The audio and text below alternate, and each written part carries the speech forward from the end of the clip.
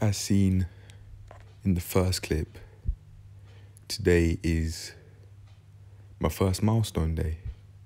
The day I hit double digits in this in this journey. I have no idea what I'll be looking, uh, what I'll be doing at day 100 when I hit triple digits, or even day 1000 around three years in when I hit quadruple digits. It may be some crazy things, or some things I'd consider crazy at this point in time.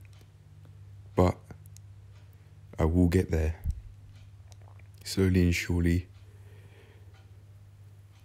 day by day, I will get there. Now, I'm going to talk about today's session, starting off with the plank challenge. You can see I wanted to take a break more than I did yesterday after the first 90 seconds. This was around the shoulders tap stage and the plank reaches stage, which you can see now. As for the other exercises within the five minute plank challenge, I think I may have done better than yesterday, but I'm not sure. I haven't really thought about it.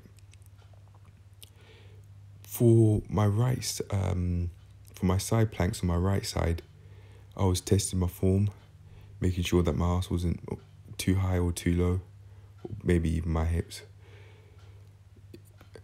That wasn't the case yesterday, but that was what I was doing today. As for the plank rotations and also the side planks, I got into my positions quicker than I did yesterday. So that's a slight improvement there. And I've also improved in my starfish planks because this is the easiest it's ever been for me for those sorts of planks. In both shoulder strength and core strength, I was tense I was tensing my core on purpose so I could feel something at that point. And I also improved in my elbow planks within the challenge as I was able to tense my core and breathe at the same time during the elbow planks, the very last exercise in the five minute challenge. That now leads me on to my three sets of 75 second elbow planks. Just like during my 30 second elbow plank within the challenge, I was breathing and tensing at the same time for every set. However, in this video, I only have footage of the first set of 75 seconds. In my first set, a thought popped into my mind that I could count for 15 breaths in and out before checking the timer. So I did that, and it's at this point in time, it's more challenging to not check the timer whenever I want compared to giving myself a certain number of breaths in and out before I can go and do it. For my 15th, uh, no, for my first set, I counted to 15. And then that made me end up at around uh, the 75 second mark because there was a time uh, uh, very early on in that set I wasn't doing that. However, for the second set, I was doing it for the second set. I was doing that throughout. So I decided to count to 20 and see how far that would get me. And I got to around the 65 second mark before checking my timer. And when I was doing this, when I was breathing in and out, I was looking at my core as I, I could see it. As I was basically looking behind me, I was looking so far down, I was basically looking behind me at my stomach. During my third set, however, it was like my left leg was finding it difficult to uh, to stay up. And I think that's because I could I could have very tight hamstrings, and hence it wanted to do that. However, if I practice my flexibility, that won't be an issue. So be it certainly be sensible for me to do some flexibility exercises after every session, both before and after. And I could also do it do it during, but that may be overdoing it if I do all three. But yeah, I can certainly start incorporating some flexibility exercises after after each session as a cool down. I'm now going to talk about uh, my push ups during today's session.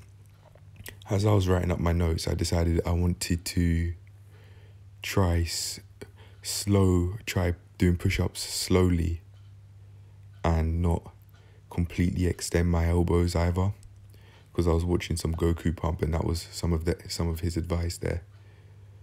And it seems like it's worked.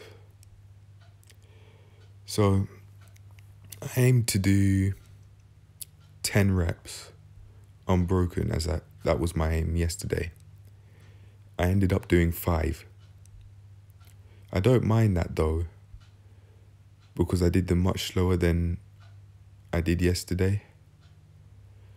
After that, I plan to do another 5 um, uh, 5 reps unbroken, but I got 4 instead.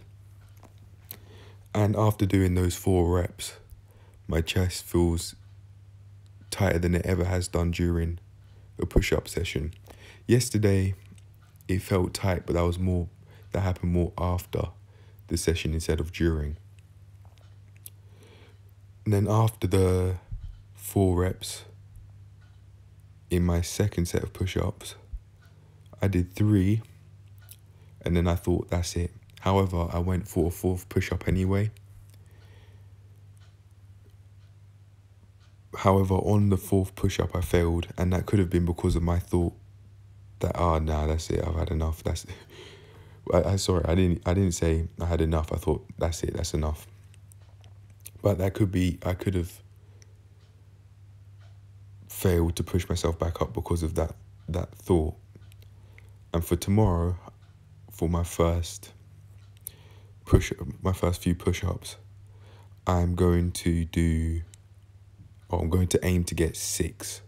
Six push-ups, slow, unbroken, and not completely ex and I'm not completely extending my elbows.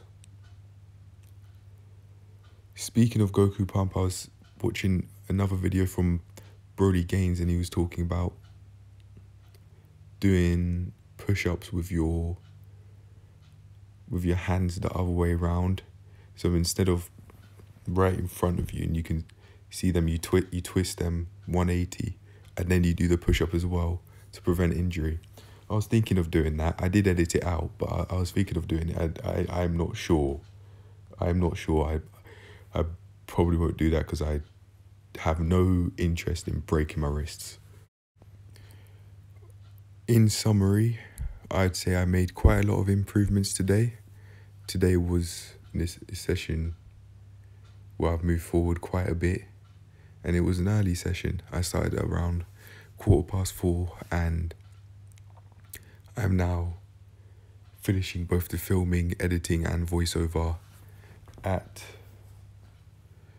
5:47. So uh, it, it is an early session, and I plan to keep on doing these things early because it means I've set aside a lot of time to be able to do this and everything else that I have going on in my life. But for now, that's it. That's the end of the video. Take care of yourselves. Peace. And I hope you enjoy the rest of the video that I have here.